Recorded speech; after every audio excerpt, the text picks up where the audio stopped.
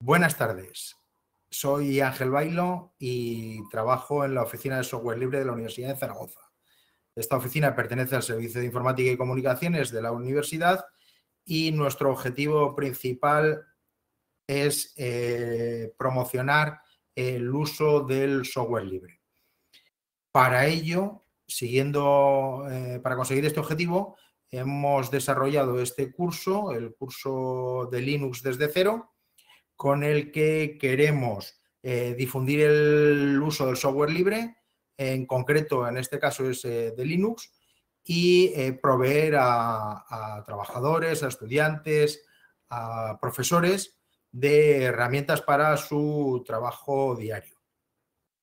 El calendario lo tenéis publicado en el calendario del curso lo tenéis publicado en la página web de, de Osluz, en osluz.unizar.es y veréis que, bueno, viernes sí, viernes no, o sea, lo vamos haciendo viernes alternos. A la una de la tarde vamos a, ir haciendo las distintas sesiones. Esta es la segunda sesión, que tiene como objetivo ver eh, cómo podemos modificar el aspecto de nuestra distribución Linux, que en la sesión 1 instalamos un Kubuntu.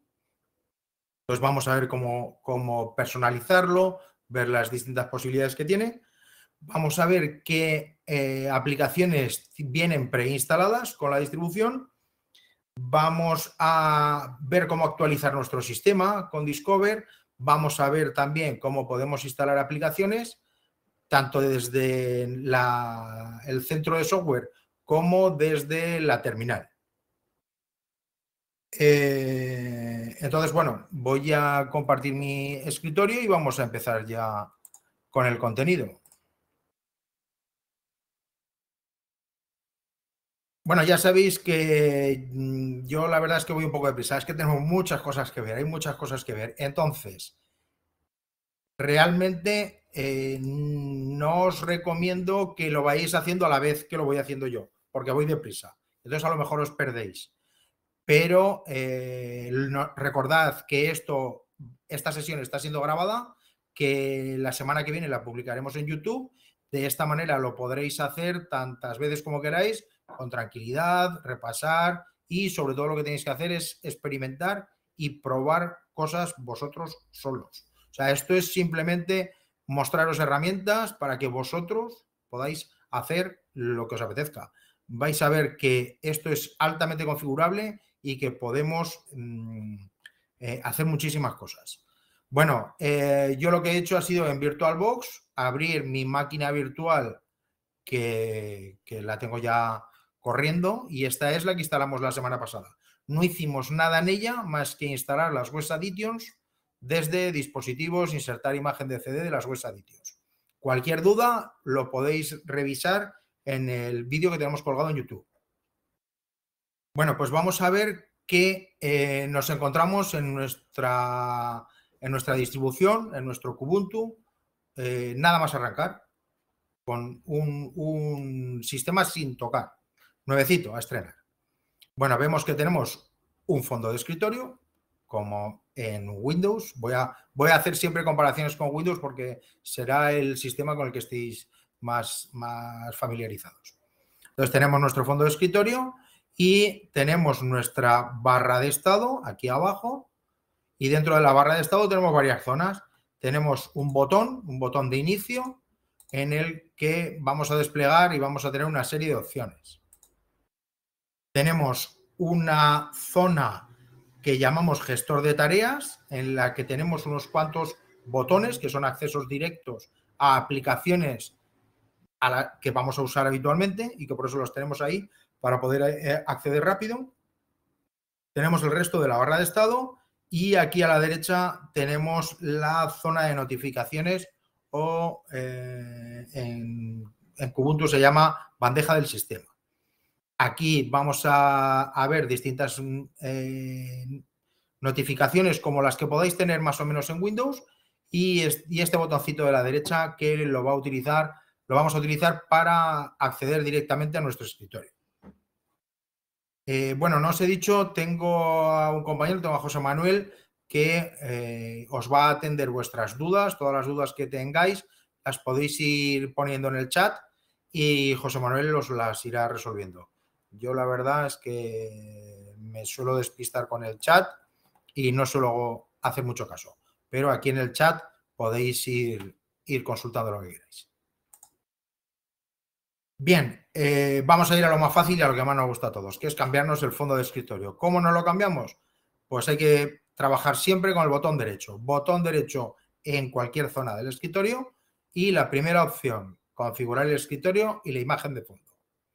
Primera opción, pinchamos en ella, lo voy a maximizar esta ventana para verla bien y lo que tengo aquí pues son un montón de fondos de escritorio que vienen preinstalados en, esta distribución. Si selecciono este, por ejemplo, le doy a aplicar, minimizo, pues tendría este, este fondo de escritorio.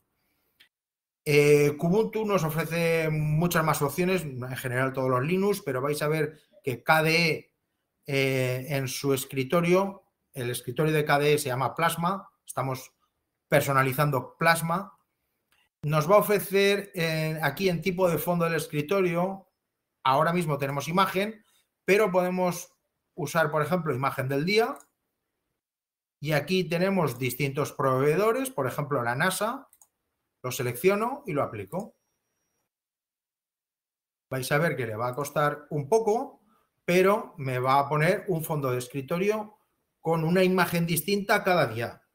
Entonces vosotros cada día abriréis vuestro Kubuntu y tendréis un fondo de escritorio distinto con una imagen que provee la NASA. Hay distintos proveedores, veréis que hay distintos, no todos funcionan bien, pero en general eh, todos funcionan. Por ejemplo, si queremos de National Geographic, pues le damos a aplicar y ya tenemos la imagen que nos, que nos eh, da National Geographic. Estas imágenes ya os digo que van cambiando día a día. Os dejáis la que más os guste. Vamos a configurar, imagen del día, seleccionamos cualquiera, voy a dejar la de la NASA, aplico y ya está. Tenéis muchas opciones que podéis siempre eh, jugar con ellas. Por favor, jugar y hacer probatinas, que no pasa nada. Además, como es una máquina virtual, si la rompéis, que no os va a pasar, pero si la rompéis, lo volvéis a instalar y ya está. ¿eh? Hacéis una instalación nueva y solucionado. Eliminéis esta máquina, queréis una nueva y aquí no ha pasado nada. Bueno, esa sería la primera opción, la de eh, modificar el, fondo de escritorio. Vamos a ver qué más, qué más podemos hacer. Por ejemplo, vamos a añadir elementos gráficos aquí a nuestro escritorio. Voy a poner otro, otro escritorio porque este de la NASA me, me resulta un poco, un poco eso. Voy a poner este mismo y ya está. O el que tenía. Pongo el que tenía que me gustaba. No está mal. Entonces, eh, cuando hago botón derecho aquí y le doy a entrar en el modo de edición, esta opción de aquí, entrar en el modo de edición, se me abre este eh, menú aquí arriba que me, va a poder, me permite hacer distintas cosas y entre ellas es añadir elementos gráficos. Voy a pinchar en añadir elementos gráficos, se me abre esta ventana con muchísimos elementos gráficos que puedo añadir a mi escritorio o a mi barra de estado. Entonces, eh, por ejemplo, voy a buscar la papelera, porque si os habéis fijado, no tenemos una papelera. Aquí no tenemos una papelera. Voy a añadir, busco la papelera, que la tengo aquí, la cojo y la arrastro. Y ahora mismo la tengo aquí selección, eh, situada. La podemos eh, coger y llevarla a la zona que más nos guste, a la derecha, a la izquierda, donde queramos la ponemos. Y si la queremos más grande, la cogemos de uno de estos extremos y, la dejamos así. La queremos más pequeña, situamos encima, lo cogemos de uno de los botones de control y la hacemos más pequeñita, del tamaño que queramos. La vamos a dejar, por ejemplo, aquí. Esa sería, eh, hemos añadido nuestra papelera. ¿Qué más podemos añadir? Bueno, pues de aquí, de todo esto, podéis probar y, veréis un montón de cosas. Por ejemplo, vamos a coger la actividad del disco duro y la voy a poner aquí. La voy a hacer más grande porque quiero ver esto cómo es, cómo está trabajando mi disco duro para ver si tiene mucha carga, poca carga, etcétera. Bueno, pues porque me interesa. Podéis ver, igual que está la del disco duro, tendréis eh, por aquí la actividad de red, las cuotas de disco, los USBs cuando los añadimos, eh, impresoras, etcétera. Vamos a coger, por ejemplo, también el informe meteorológico. Lo vamos a poner aquí porque me gusta estar informado permanentemente del tiempo que hace. Lo he hecho más grande y ahora pincho en este botón de configure porque no me está ofreciendo nada. Entonces, ¿qué tengo que decirle? ¿Dónde estoy? Para que me dé el tiempo de dónde estamos. Le doy a escoger y le digo que me provea el tiempo, pues por ejemplo la BBC, es la, la televisión pública británica. Selecciono la BBC y le digo que estoy en Zaragoza. Me ofrece de Zaragoza el aeropuerto o la ciudad de Zaragoza. Selecciono Zaragoza, doy a seleccionar, aplico, acepto y ya tengo aquí el tiempo de Zaragoza. Me lo pongo aquí y ya está. Cierro Ahora, para que esto deje de estar editándose, simplemente pincho en este botoncito de salir del modo de edición, este botón rojo de aquí arriba de la, de la barra de herramientas que nos ha aparecido, pincho en el botón y ya tenemos nuestra actividad de disco duro, nuestro informe meteorológico y nuestra papelera. Ahora no los puedo mover, no los puedo eh, desplazar. Tendría que entrar en el modo de edición entrar en el modo de edición y va a ser cuando me sitúe encima de ellos que los voy a poder editar, mover, hacer más grande, más pequeño o eliminarlos. Ya me he cansado de ver la actividad del disco duro, la elimino. Me he cansado de ver el tiempo que hace, lo elimino. La papelera la dejo, pues esto lo puedo cerrar.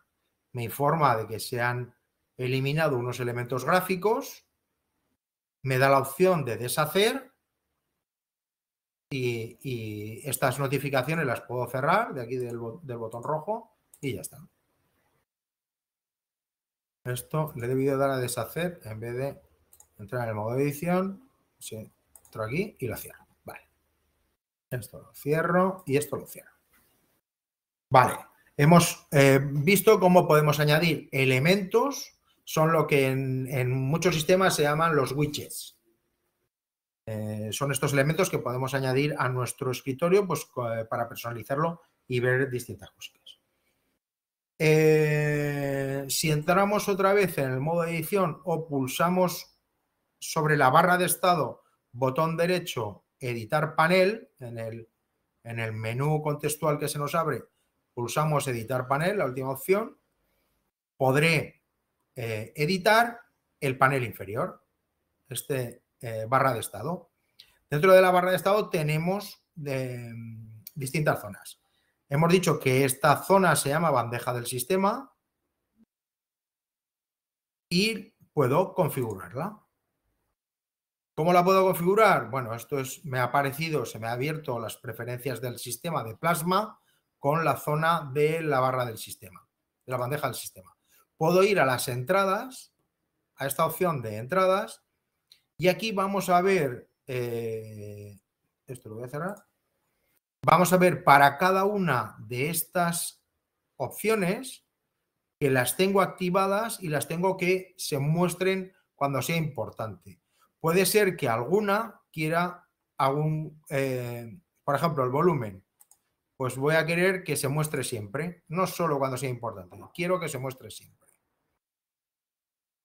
O, por ejemplo, eh, si quiero mostrar, eh, hay alguno que no voy a querer verlo. Por ejemplo, el estado de la copia de seguridad, pues no me interesa. Lo, lo desactivo. Y el informe meteorológico, pues lo voy a activar.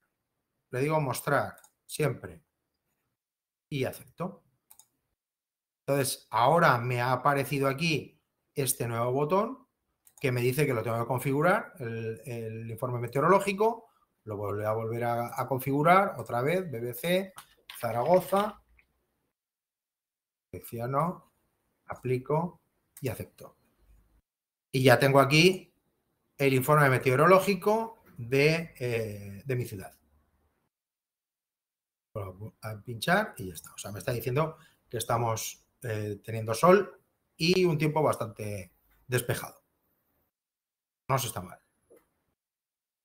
Hemos personalizado, dijéramos, esta zona de aquí. ¿Qué más podemos personalizar de aquí? Hay una cosa que es súper importante. Por ejemplo, bueno, varias cosas son importantes. ¿Qué tenemos? Tenemos un calendario con un reloj.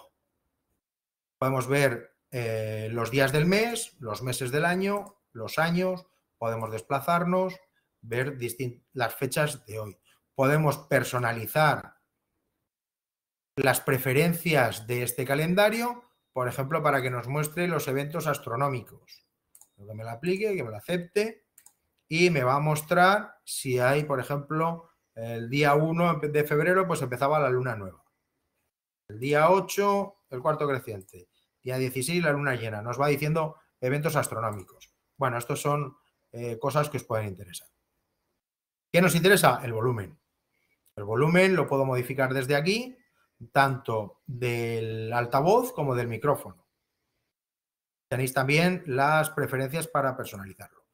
Una cosa que me importa muchísimo es la red. La red y tener conectividad. Como esto es una máquina virtual, le está dando, dando red a través de cable. Por eso tenemos aquí este símbolo que eh, hace referencia a un cable. Si estuviéramos por Wi-Fi, tendría otro simbolito que es como unas ondas y, estaríamos conectados por Wi-Fi. Veríamos las Wi-Fi, etc.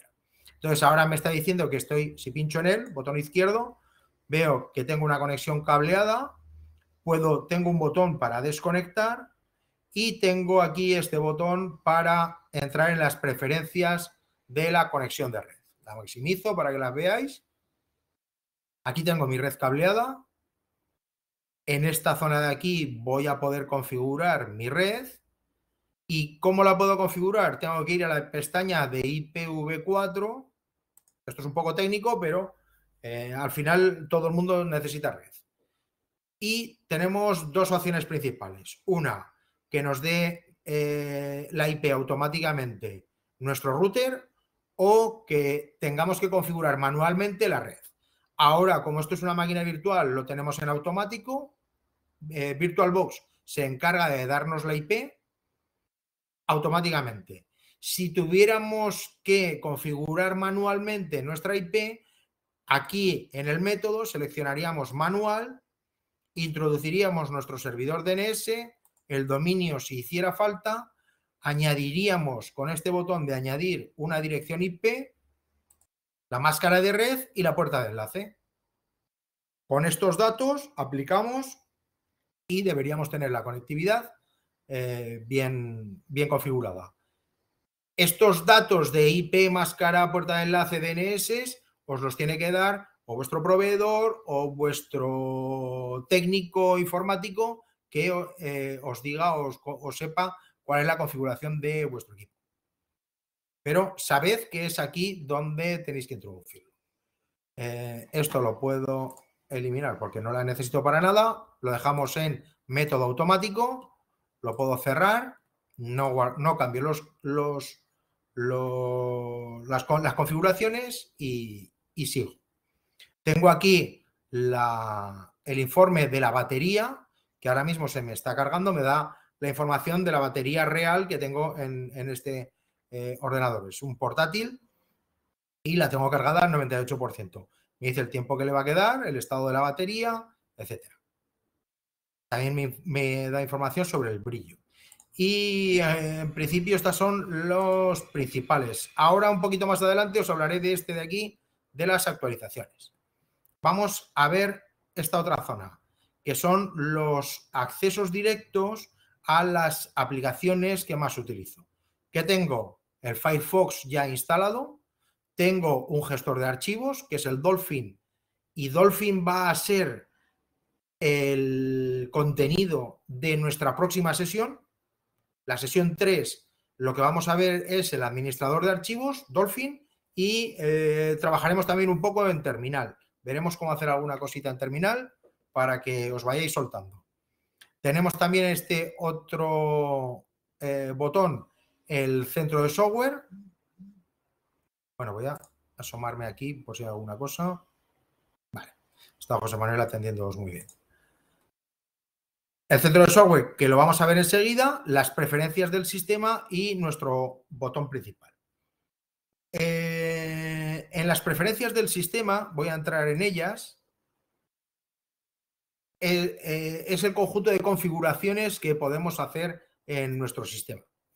Tenemos muchísimas, KDE, Plasma, o sea, KDE dijéramos que es la organización que, es en, que crea Plasma y Plasma es el escritorio. Plasma es extremadamente configurable. Vais a encontrar cantidad de posibles configuraciones. Hay gente que dicen que son demasiadas y hay gente que dice que cuantas más configuraciones se puedan hacer, pues mejor. Yo desde luego no me quejo. Y lo que no toco, pues no toco, no pasa nada. Y el que quiera hacer muchas cosas, pues las tiene ahí. Tenemos unas preferencias rápidas, tenemos aquí un buscador en el que podemos poner, por ejemplo, pantalla. Y me da todas las configuraciones que hacen referencia a pantalla. O al teclado, configuraciones de teclado. O a la red, eh, preferencias de la conexión. Podéis escribir en ese buscador y nos dará las preferencias que hagan relación a ese término. En cuanto a qué podemos hacer, eh, lo siguiente. Vamos a personalizar un momento antes de seguir con esto. Voy a volver a la barra de estado, voy a editar el panel, botón derecho sobre la barra de estado, editar panel y quiero mostraros eh, un par de cosas. ¿Cómo puedo modificar? A ver, esto. Eh, ¿Dónde tengo la barra de estado? Lo cojo, selecciono, pincho en este botón de borde de la pantalla y la llevo aquí a la izquierda o la llevo arriba o la llevo a la derecha o la llevo abajo, a donde quiera. Puedo poner mi barra de estado donde yo quiera. Puedo también añadir, si pincho aquí, configuro el panel. Puedo añadir elementos gráficos a esta barra de estado. Esto ya lo hemos visto. Los puedo echar aquí o aquí, a la barra de estado. Y puedo añadir aplicaciones, esto lo voy a eliminar, y puedo añadir aplicaciones a esta zona de, del, gestor de tareas, a esta zona de aquí. Eh, entonces, veremos luego cómo añadirlas. Voy a cerrar esto, la edición, y voy a seguir con las preferencias. Desde estas preferencias vamos a ver cómo podemos configurar desde los bordes de las pantallas, el comportamiento general, efectos del escritorio. Pues mira, por ejemplo, en efectos del escritorio vamos a poner unos efectos. Por ejemplo, para que veáis lo personalizable que es esto. Tenemos muchísimos. Aquí tenemos enormes cantidades para hacer...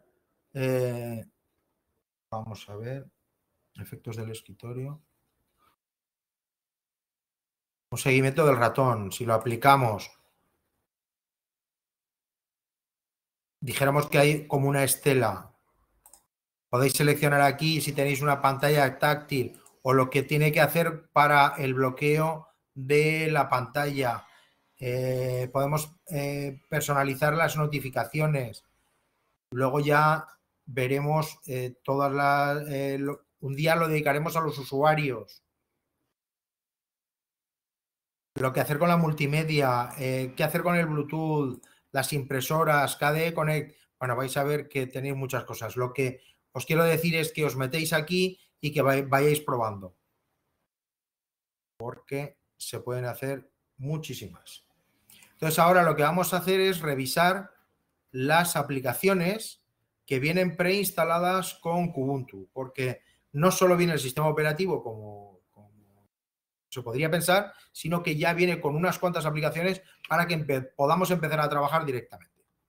Si pincho en el, botón de inicio, vamos a ver la primera pestaña que eh, son mis aplicaciones favoritas, que me las pone aquí Kubuntu, porque sí, pero que nosotros las podemos modificar. Tenemos otro con todas las aplicaciones. Dentro de, esta, eh, de este botón de inicio podemos buscar una aplicación en concreto, por ejemplo, un gestor. Todas estas aplicaciones harían referencia al gestor. Un navegador, aparece el Firefox o este eh, navegador web genérico. Y aquí a la derecha me dice exactamente lo que es esta aplicación. Hay una pequeña descripción. Para ciencia y matemáticas tengo el LibreOffice Math, que me sirve para hacer eh, fórmulas, para editar fórmulas. En gráficos tengo eh, un visor de imágenes, el GameView, el, el programa de dibujo Draw, el Ocular para ver los PDFs. Tenemos en Internet, tenemos navegadores, tenemos eh, el KDE Connect para conectar nuestro móvil, tenemos un cliente de chat, tenemos cliente de correo, Thunderbird. En juegos también nos, nos vienen instalados cuatro juegos distintos. En multimedia tenemos el control del volumen, el reproductor VLC, el ISA, que también es otro reproductor de música. Para oficina tenemos LibreOffice instalado completo, eh, Ocular como visor de documentos PDF. Aquí tenemos las preferencias. Aquí tenemos para sistema un gestor de paquetes, de particiones, nuestra terminal que se llama console, el visor de, los eventos del sistema, un monitor del sistema, que lo podemos abrir y nos va a decir el uso que está haciendo de nuestro hardware. Ahora mismo está usando un giga de RAM, 10 gigas de disco y el 26% de mi CPU. Me da información también de las redes, puedo ver un historial, puedo ver las aplicaciones eh, que ahora mismo están corriendo, los procesos que están corriendo. Información muchísima. En utilidades, pues tengo un, eh, un ARC que es un archivador que nos permite trabajar con archivos comprimidos, con ISOs. Eh, tenemos un editor de texto que es Skate, tenemos una calculadora, eh, un selector de emojis, una, una, utilidad para hacer capturas de pantalla, eh, un, un, visor de propiedades de los documentos. Tenemos también la ayuda. En el centro de ayuda vais a poder encontrar por texto o en el índice ayuda sobre Plasma y sobre Linux en general. Os recomiendo que si tenéis dudas las busquéis aquí, que es muy fácil que, encontréis la solución en este punto. Bueno, ya hemos visto las eh, hemos visto cómo personalizar un poco, un poco Kubuntu, Plasma. Hemos visto las aplicaciones que vienen preinstaladas y ahora vamos a ver eh, cómo instalar aplicaciones y cómo actualizar nuestro sistema. Si sois usuarios de Windows, que es lo normal, eh, padeceréis, porque es un, padecer, las actualizaciones de Windows. sabéis que de repente descarga una actualización y quieras o no quieras, pues al apagar o al reiniciar o ahora mismo te la actualizan y te vaya bien o te vaya mal. En Linux siempre tenemos la opción de actualizar lo que queramos y cuando queramos. Ubuntu nos provee de este eh, aviso que tenemos aquí, que son las actualizaciones, que pinchamos en él porque nos dice que tenemos actualizaciones pendientes y se nos abre Discover. Discover es, también este icono de aquí, que es nuestro centro de software. Acabo de abrir lo que son las actualizaciones, me dice que tengo 138 eh, actualizaciones pendientes, me dice qué actualizaciones son, es decir, aquí me dice que LibreOffice Calc se me va a actualizar de la 1721 a la 1725 que esta actualización ocupa 8 megas. Y la puedo seleccionar o deseleccionar. Si no quiero que esta actualización se aplique, la deselecciono. Y si quiero que sí, la, selecciono. Aquí puedo ver las 138 actualizaciones distintas que tengo pendientes de actualizar y cuando quiera las actualizaré. Y si no quiero, no las actualizo. Y no pasa nada. ¿Eh? Las puedo dejar aquí y eso es lo que vamos a hacer. Porque me está diciendo que estas 138 actualizaciones son 400 megas, 401,6 megas. Es lo que yo tengo aquí pendiente. Me imagino, que, me imagino que vosotros tendréis algo parecido. Entonces estos 400 megas le llevará un rato descargarlos y, e instalarlos. Entonces no lo vamos a hacer ahora porque no, no merece la pena. Simplemente tengo este botón aquí para comprobar actualizaciones y tengo este botón aquí para actualizar todo. Y cuando digo actualizar todo será actualizar las actualizaciones que están aquí marcadas. Estas que están marcadas serán las que se actualicen. Si esto no quiero que se me actualice, no quiero que se me actualice el Firefox porque me han dicho que la nueva versión da problemas con el, software que estoy utilizando y no quiero que se actualice, pues no se actualiza. Le doy a actualizar las, seleccionadas, porque ya no es todo, sino solo las seleccionadas, y se me actualizarán todas. Vale, esto respecto a las actualizaciones. Ahora vamos a ver que desde esta misma aplicación, desde Discover, vamos a poder buscar e instalar aplicaciones. Discover es un centro de software que busca en nuestros repositorios eh, los programas que eh, la comunidad que está detrás de Linux y de Ubuntu en concreto provee en, a esos, eh, en esos repositorios, los deja disponibles para que nosotros podamos acceder y encontrar programas que están allí disponibles, gratis, disponibles, inmediatos. No como en otros eh, sistemas operativos. ¿Qué, ¿Qué, tengo que hacer? Bueno, cuando, si yo ahora cierro Discover, perdón, esto la máquina no, Discover, y lo vuelvo a abrir, porque antes he entrado desde las actualizaciones y ahora entro desde aquí. ¿Qué me ofrece? Lo primero que me ofrece Discover son los destacados, es decir, una serie de aplicaciones pues, que se están descargando mucho. Vale. ¿Que me pueden interesar o no? Me da igual. Yo lo que quiero es instalar alguna aplicación en concreto que necesito para mi trabajo. Por ejemplo, necesito un editor de imágenes que sea algo similar a Photoshop. ¿Qué se recomienda? GIMP. Pues aquí escribo GIMP, le doy al intro para que me lo busque y me busca todas las aplicaciones que hacen referencia a GIMP en el repositorio. La primera que me aparece es este programa de manipulación de imágenes de GNU. Pincho en él y me da una serie de información. Imágenes del programa, información del programa, la versión, reseñas y mucha información detallada sobre la licencia, documentación, etcétera. ¿Qué tengo que hacer para instalarlo? Pulsar en el botón de instalar. Pincho en instalar. Me pide mi contraseña de administrador. Produzco.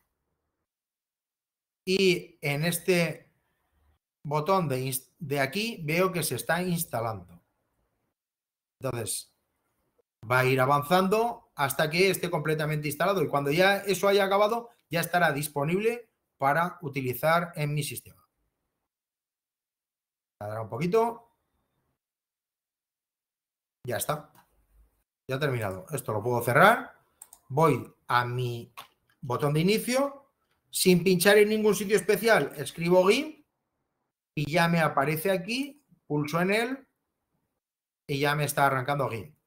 Ya lo tengo instalado. Tan fácil como eso es instalar una aplicación en, en Kubuntu. Aquí tengo GIMP para editar mis imágenes. Vuelvo a entrar en Discover y vamos a buscar otra. Pero lo vamos a hacer de otra manera, no la instaléis. Lo vamos a hacer de otra manera. Voy a buscar Shotcut. Doy al intro y me ofrece Shotcut que es un eh, editor de vídeos. Me sirve para editar vídeos en 4K, me hace exportaciones, es una pasada. Os lo recomiendo. Shotcut para editar vuestros vídeos. Lo puedo instalar desde aquí, puedo hacer desde aquí mi instalación. puedo hacer desde aquí, pero no lo voy a hacer desde aquí. Lo vamos a hacer desde el terminal. Venga, para ir haciéndonos unos Linuxeros profesionales. Primero, ¿cómo eh, obtengo mi terminal? ¿Cómo veo la terminal? Voy al botón de inicio y escribo terminal. Empiezo a escribir terminal. Me ofrece console. Pues pincho en console y la abro. Y ya está aquí abierta mi terminal. La maximizo para que lo veáis un poco mejor. Y eh, os voy a dar un comando muy sencillo que es apt, que es un comando que nos sirve para eh, instalar aplicaciones. Le voy a dar la opción Search porque voy a buscar Shotcut. Quiero saber cómo se llama este paquete que voy a instalar. Y veo aquí que se llama Shotcut. Esto en verde. Esto que veis en verde es lo que yo tengo que instalar. Pues ¿qué hago? Voy a ponerle un sudo delante porque tengo que instalar como administrador. Hago apt install shotcut. Exactamente lo mismo que pone aquí en este paquete. Le doy al intro, me pide la contraseña, me dice que se van a descargar 183 megas, que esto me va a ocupar 183 megas, que se van a instalar todos estos paquetes, me dice lo que se va a instalar, que además se sugieren estos otros de aquí, y que se van a instalar todos estos nuevos. ¿Vale? es Linux nos informa de todo lo que va a ocurrir en nuestro sistema. Le digo que me parece bien, le pongo una S y le doy al intro y él empieza a descargar y empieza a instalar. Ha descargado en un momento y empieza a instalar. Cuando llegue al 100%, lo tendremos instalado.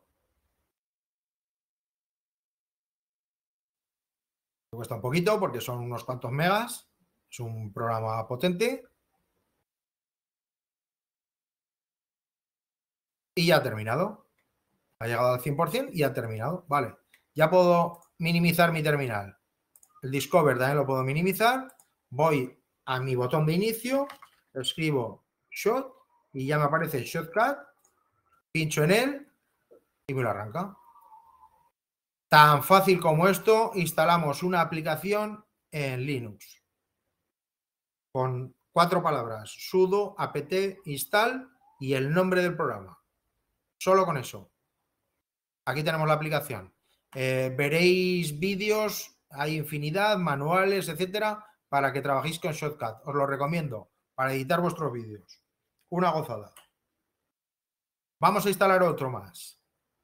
Vamos a hacer un apt search. Voy a instalar un navegador que se llama Chromium, que es el padre del Chrome, de Google Chrome. Aquí, ¿qué ha ocurrido? Que cuando le he puesto a apt search Chromium, me ha encontrado muchos paquetes que hacen referencia a él. Bueno, pues buscando, buscando, bueno, buscando. El más lógico de instalar es este, Chromium-browser.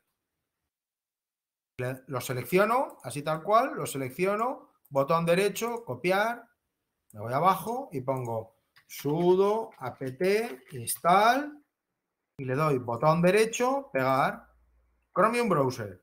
Le doy al intro.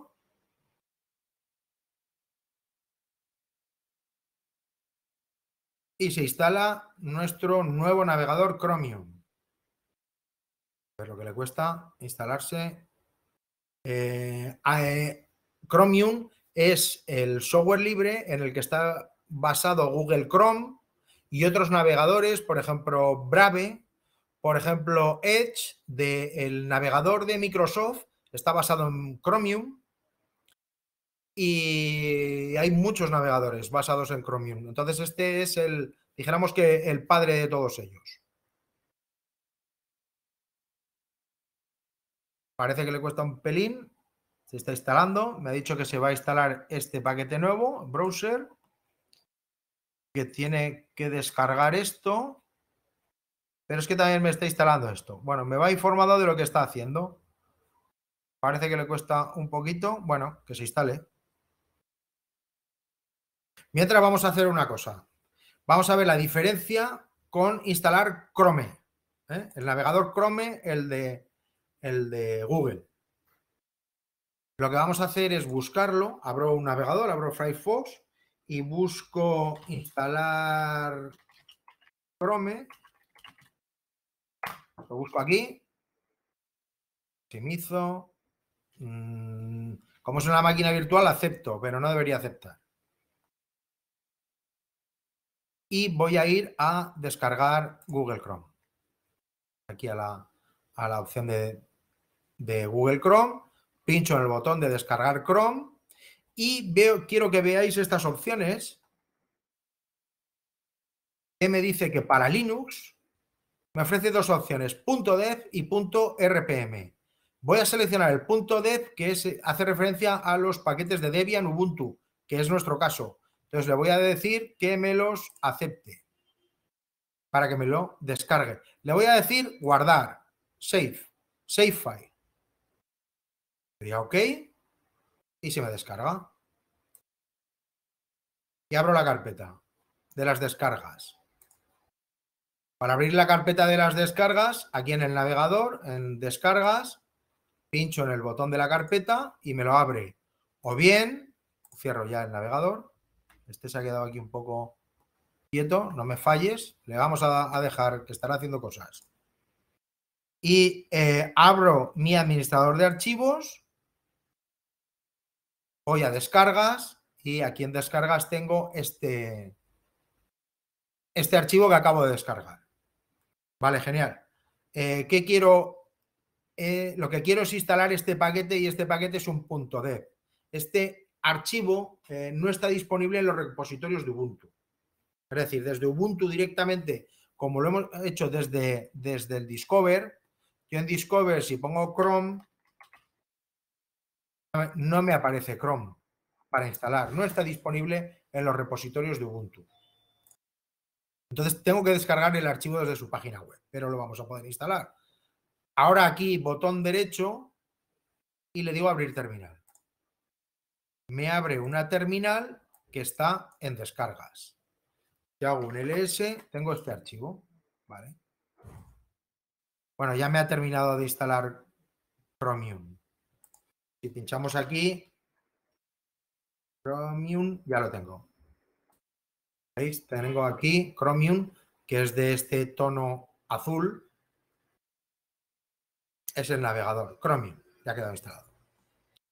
Vale, pero yo lo que quería era entrar aquí e instalar Chrome, que es descendiente de Chromium. Para instalarlo, ¿qué tengo que hacer? Tengo que poner un sudo, porque para instalar necesito ser administrador. Para instalar un paquete dev tengo que hacer con el comando dpkg, no sí de instalar y el nombre, Google, no sé qué, pero como no me lo sé, le doy al tabulador y él me lo rellena. Rellena el nombre, no tengo que escribir todo. Entonces, el comando se compone de sudo para decir que soy administrador, dpkg, que es el comando que instala, menos i para instalar y el nombre del paquete que queremos instalar, que es este que hemos descargado. O sea, este. Ahora le doy al intro, me pide mi contraseña y se empieza a instalar.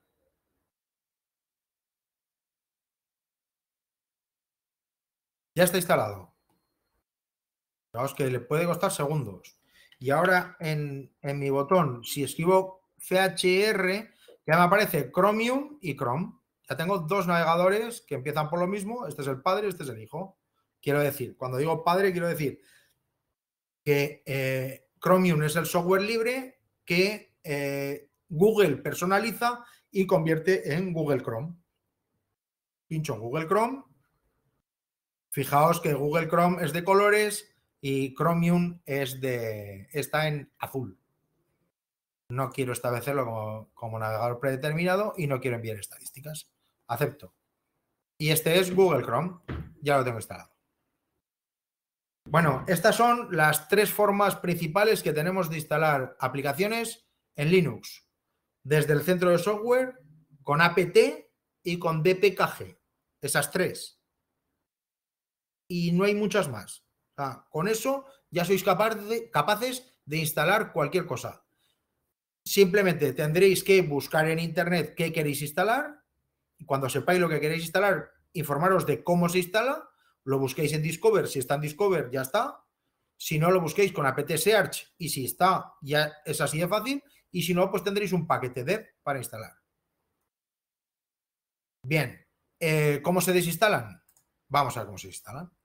Podemos desinstalar desde el propio Discover, por ejemplo, el Chromium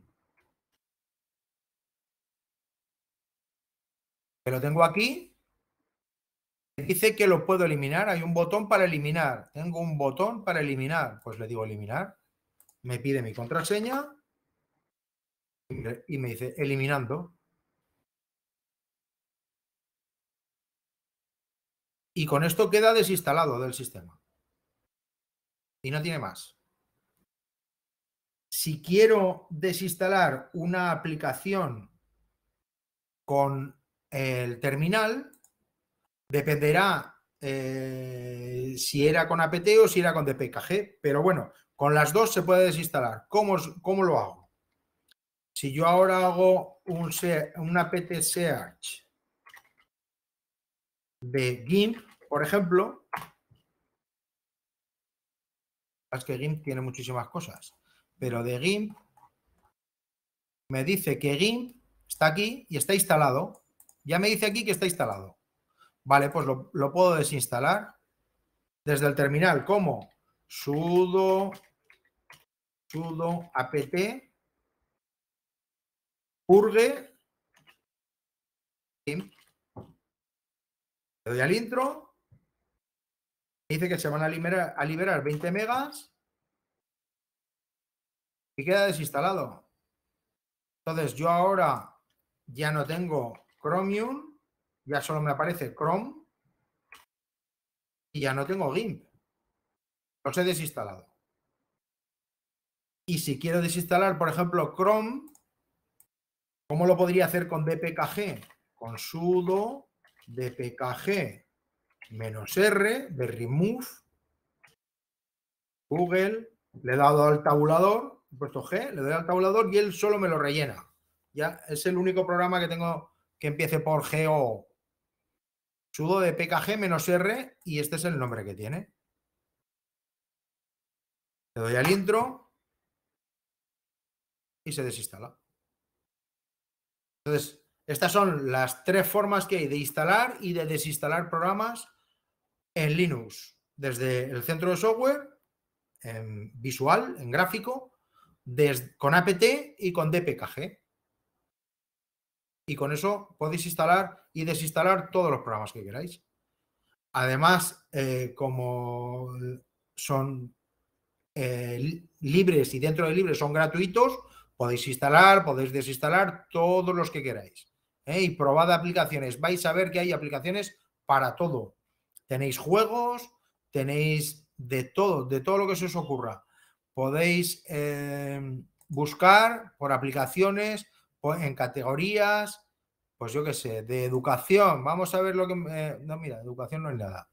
Pues, qué raro. Venga, juegos. ¿Qué hay de juegos? Emuladores, ¿no me encuentras nada? ¿Por qué no me encuentras nada? Eh, ah, porque me estaban filtrando por deportes. O sea, por Chromium, perdón. He borrado esto de aquí, lo estaba filtrando. Tengo todo eso, lo que estaba antes que eran que era educación, pues tengo todo esto. Tenemos aquí eh, pues, para, pues para ver un planetario, tenéis de todo. Bueno, ya me estoy pasando otra vez de tiempo.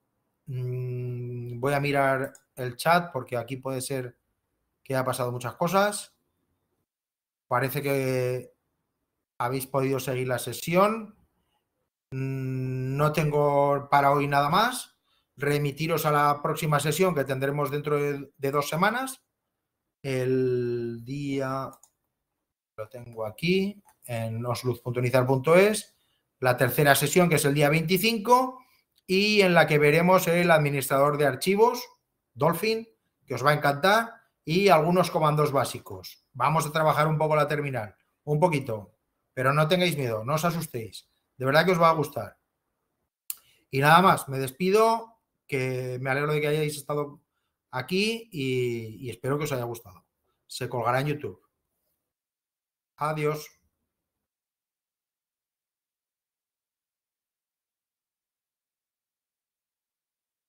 Para cambiar el lenguaje de LibreOffice, preguntan. Mira, voy a entrar.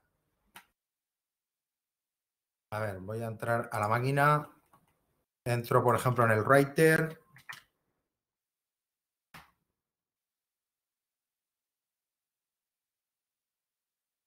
Esto es el Writer. Cierro esto, cierro esto. Vamos a Edit. ¿Dónde están las preferencias? Aquí. En Tools, Options, lenguaje Settings, lenguajes, User Interface, el default que es el inglés, pues hay que añadir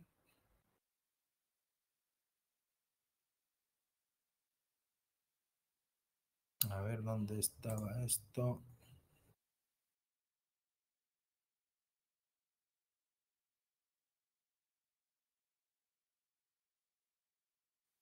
Ah, si no, hay una forma más fácil desde la terminal, pero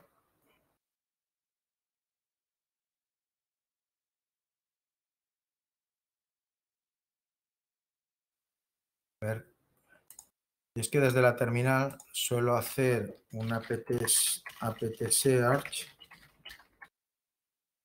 LibreOffice.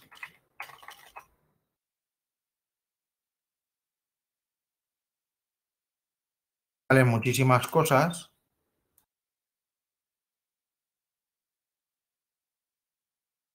Pero entre ellas...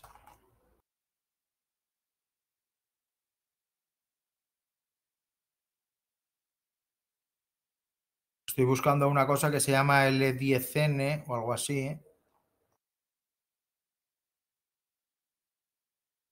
Esto es la, la ayuda en español, este paquete es la ayuda. Este. El L10.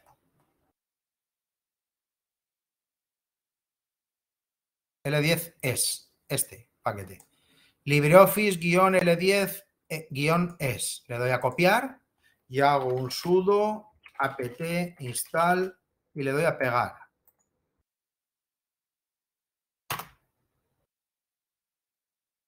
Digo que sí. Cierro el Office, el Writer, era. Y se me está instalando el programa español, el idioma español. Ya está instalado. Vuelvo a abrir el Writer. Ya lo tengo en español. Sé que hay una forma de hacerlo desde las preferencias pero la verdad es que eh, configuración de idiomas, yo pensaba que estaba aquí. Ahora sí que me sale el español, pero es que no me acuerdo cómo se añaden idiomas aquí. Pero vamos, también se tiene que poder hacer, ¿eh?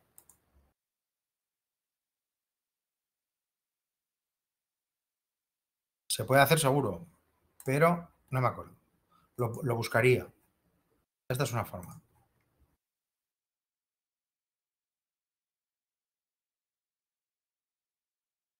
Tienes un problema, eh, Pemozas, Pilar, me imagino.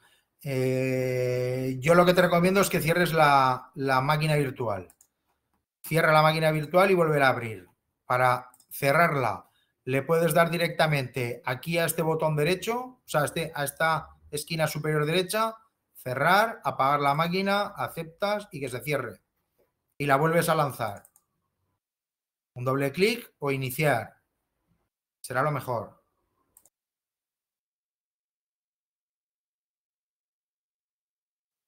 Bueno, como son máquinas virtuales, no tienen, voy a dejar de compartir, no tienen por qué funcionar perfectamente. pero no pasa nada, se reinician y, ya está. Eso es. La cierras y lo vuelves a intentar. Esto lo bueno es que eh, la semana que viene, cuando tengáis el vídeo, os, eh, os, conectéis, o sea, lo veáis y, y probéis muchas cosas, porque hay muchísimas cosas que se pueden hacer. Y os puedo dejar aquí un enlace a una página que tiene una personalización muy buena, que es esta, que explica muchas cosas. Es un poco largo, pero ahí me gusta. Ese enlace es una personalización que aprenderéis mucho. Es de Salmorejo Geek y, y hace cosas chulas con plasma. Bueno, ya son las dos, nos hemos pasado de tiempo. Voy a cortar aquí y, os espero en la próxima sesión.